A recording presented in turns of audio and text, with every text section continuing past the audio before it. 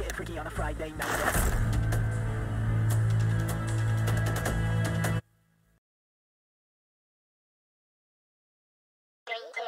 Let's roll.